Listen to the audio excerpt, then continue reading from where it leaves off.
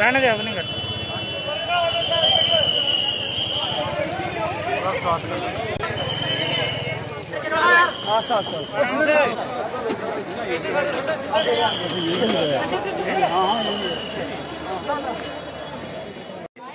डोडा Kishtwar Sinthan stretch पे accidents की। वो क्रैश बैरियर्स का ना होना है।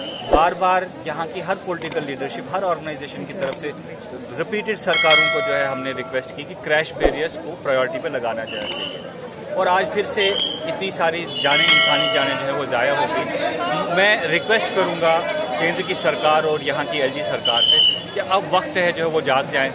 कम से कम इंसानी जानों के लिए कुछ रहम खाएँ।